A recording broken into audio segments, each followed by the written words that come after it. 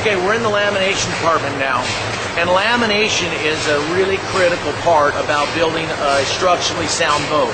Uh, there are a lot of boat companies in the world that build boats with what's called a chopper gun. A chopper gun is a gun, we'll show it to you a little bit later. We use a chopper for building our seat bases, but that's it. No structural part of the boat is built with a chopper gun. Um, what we call sheet glass laminated is what we do. Um, we all we use sheets of fiberglass, whether it's cloth or whether it's a biaxial or whether it's a 24 ounce woven woven or possibly a mat. There's different purposes for all of this.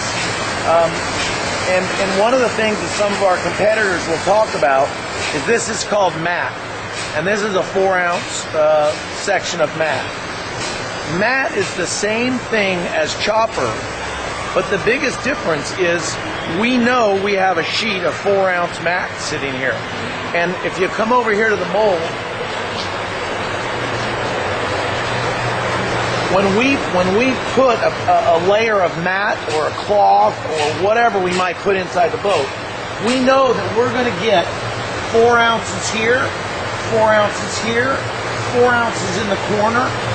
We're going to get the right amount of fiberglass inside the boat that we designed for the structure of that boat. So that there's lots of different designs. You could you have areas that you need to be very stiff, like the the keel of the boat, the stem of the boat, right down the middle. There's areas that need to have a little bit of flexibility. So there's a lamination schedule that's built for that particular boat in that particular spot.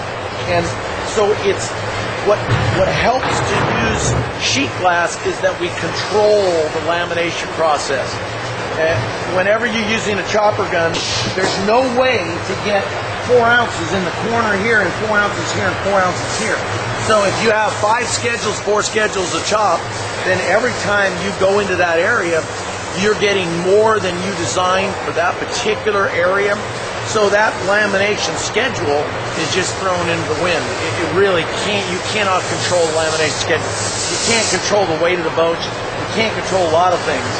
It really makes a big, big difference in the way that you meter the amount of glass and resin that you put inside the boat.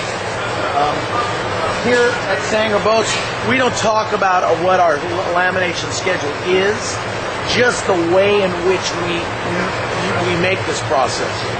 We do a lot of things very uh, old-fashioned.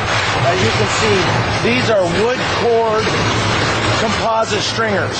They'll be the, the, the fiberglass will be wrapped over the top of these wood cored stringers. Our competitors are using hollow cored fiberglass stringers or foam filled fiberglass stringers, we choose to core the fiberglass stringers with wood. This wood is non rotting, it's impossible for it to rot. It's a Glulam if you can see it. That's actually got 14 laminates in it in each one of those stringer units. Um, they're what's considered full length. They run all the way to the other end of the boat, and they will then get wrapped with fiberglass, and and that structure is then complete once they're wrapped with fiberglass. This wood cannot rot. Okay, I can't make it more clear. This wood has got a chemical treatment to it in every one of these laminates. So there are 14 laminates throughout here.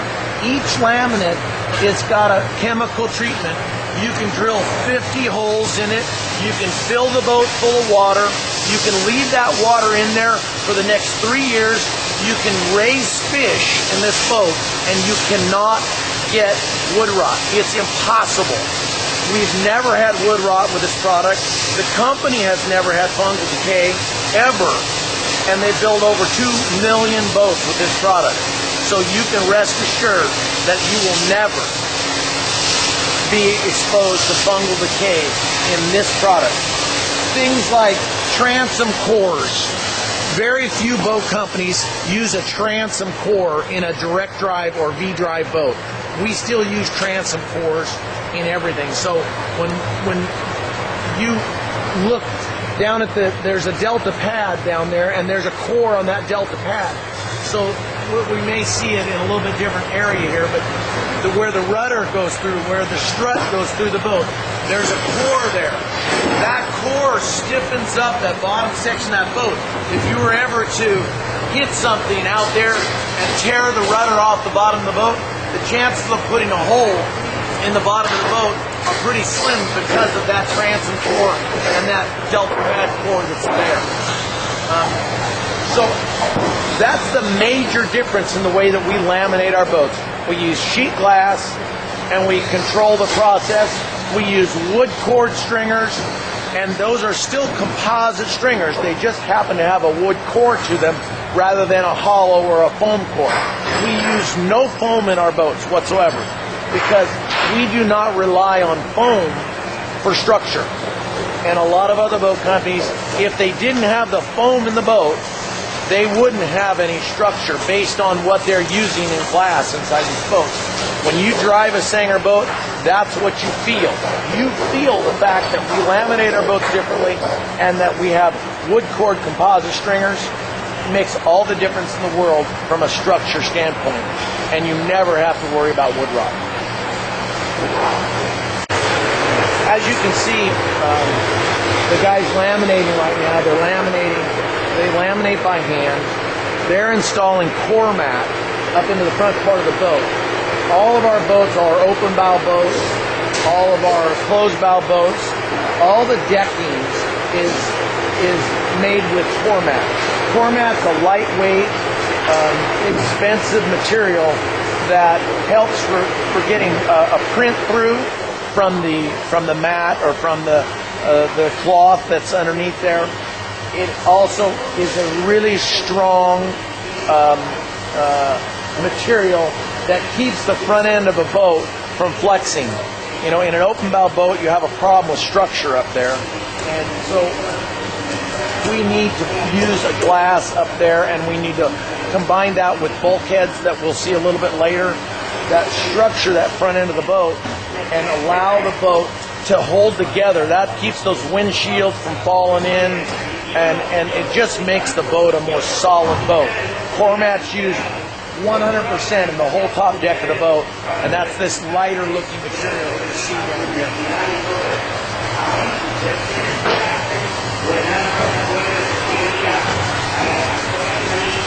Again, the stringer, the stringer uh, core material is here.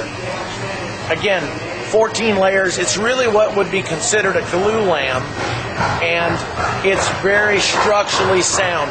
There is no better way, structurally speaking, to build a boat than with wood. There are easier ways to build a boat, but structurally speaking, it is almost impossible to replace the structure of wood in, in this process.